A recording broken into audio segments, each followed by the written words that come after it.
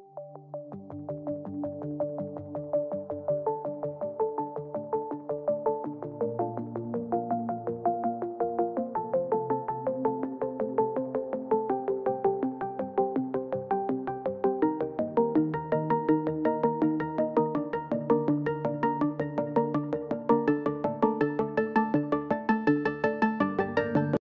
नमस्ते दोस्तों तो स्वागत है आप सभी लोगों का एक और नई वीडियो में। तो दोस्तों, अभी हम नेशनल हाईवे नंबर 47 पे है, जो डाकोर से अहमदाबाद वाला रोड है, और यहाँ से हम जा रहे हैं मीनावाड़ा माँ दशा माँ के दर्शन के लिए। तो वीडियो में पूरा बना रहेगा, हम आपको दर्शन कराएँगे मीनावाड़ा माँ दशा माँ के। और अगर हमारे चैनल पर नए हैं तो चैनल को सब्सक्राइब कर लीजिए। वीडियो पसंद आए तो वीडियो को लाइक कर लीजिएगा। चलिए चलते हैं और दर्शन करते हैं माँ दशा माँ के मीनावाड़ा।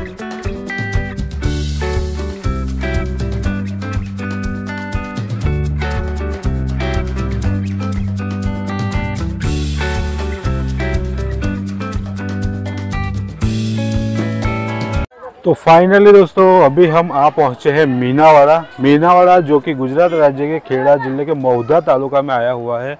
और अभी मैं खड़ा हूँ मीनावाड़ा माँ दशा माँ के प्रवेश द्वार के बिल्कुल ही सामने। तो देखिए, इस तरीके से ये गेट है और यहाँ से चल के अभी हमें अंदर मंदिर तक जाना है। तो मीनावाड़ा, हम डाकोर से आए हैं और डाकोर से मीनावाड़ा की जो दूरी है वो 25 किलोमीटर है। और अगर आप वडोदरा से यहाँ पर आना चाहते हैं तो वडोदरा से जो मीनावाड़ा की दूरी है, वो करीब करीब 90 किलोमीटर है। और यहाँ से पाँच किलोमीटर की दूरी पर कठलाल करके एक शहर है। तो चलिए चलते हैं और दर्शन करते हैं माँ दशा माँ के। तो दोस्तों, मीनावाड़ा की जो कहानी जब मैंने गूगल किया तो मुझे कुछ इस तरीके से पता चला कि आज से करीब 700 साल पहले यहाँ पर मीनड़ नाम का एक शहर हुआ करता था। और बाढ़ की वजह से वो पूरा शहर ध्वस्त हो गया था। और अभी जो आप देख रहे हैं वो मीनावाड़ा करके एक गाँव है और ये गाँव प्र, जो प्रचलित है वो दशा माता के मंदिर से है। एक छोटा सा गाँव है लेकिन पूरे गुजरात में प्रख्यात है पूरे भारत में प्रख्यात है माँ दशा माता के मंदिर से। यहाँ पर अलग अलग राज्य से कई सारे भक्त माता जी के दर्शन के लिए आते हैं।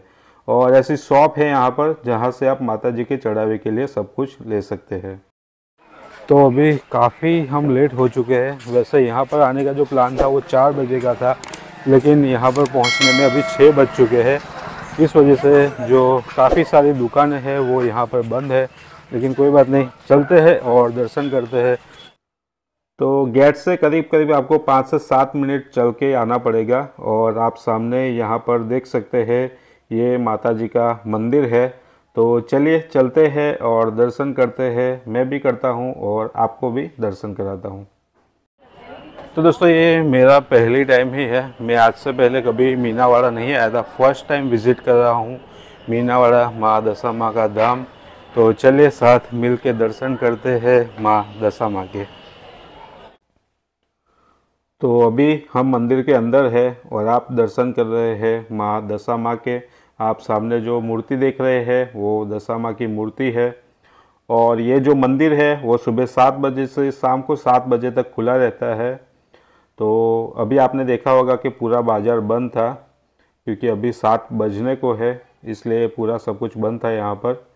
तो चलिए दर्शन कर लेते हैं और फिर मैं आपको बाकी की चीज़ें यहाँ पर दिखाता हूँ।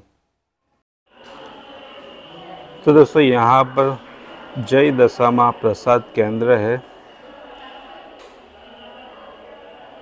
और कुछ इस तरीके से ये पूरा मंदिर है। यहाँ पर आप माँ दशा माँ के दर्शन कर सकते हैं। और जैसे कि मैंने कहा, एक ये वाला गेट है, वो मेन गेट है जहाँ से अभी मैं आया था।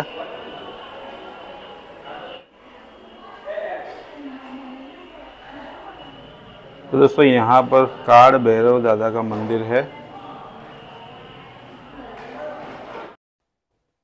तो यहाँ पर आप देख सकते हैं, जय दशामा भोजनालय, जो कि वहाँ पे नीचे है, वो गेट है अंदर जाने का। फ़िलहाल के लिए बंद है, क्योंकि अभी मैंने पूछा यहाँ पर तो उन्होंने बताया कि आज गाँव में कोई प्रोग्राम है, जिस वजह से सभी का जो निमंत्रण है, खाने का, वो वहाँ पर है।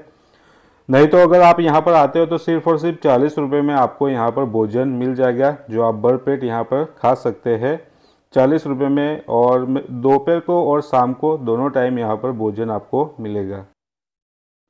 तो मंदिर में दर्शन करने के बाद अभी मैं नीचे आ चुका हूँ और ये यहाँ का बाज़ार है, यहाँ की मार्केट है। तो काफ़ी सारी यहाँ पर दुकानें हैं, एक काफ़ी बड़ा ये बाज़ार है और अलग अलग तरह की आपको चीज़ें यहाँ पर मिल जाएगी, जो कि काफ़ी सारी तो अभी बंद है, क्योंकि हम लेट हो चुके हैं। लेकिन फिर भी बहुत सारी आप देख सकते हैं खुली है। कई सारे जो भक्त हैं, वो यहाँ पर आते हैं और याद के रूप में यहाँ से माता जी की जो छवि है, जो फ़ोटोज़ है, वो यहाँ से ले जाते हैं। और भी कई चीज़ें हैं जो यहाँ पर मिलती है। तो दोस्तों, ये था मीनावाड़ा का मंदिर और मीनावाड़ा का पूरा बाज़ार मैंने आपको दिखाया। तो लगता है आज थोड़ा जो टाइमिंग है वो गड़बड़ हो चुकी है, जिस वजह से काफ़ी कुछ हमें बंद बंद देखने को मिला यहाँ पर। लेकिन कोई बात नहीं नेक्स्ट टाइम जब आएँगे तो मॉर्निंग का टाइम सेलेक्ट करके आएँगे। अभी हम यहाँ से चलते हैं डाकोर के लिए, क्योंकि आज का जो हमारा स्टे है, वो डाकोर में है। तो अभी यहाँ से चलेंगे डाकोर।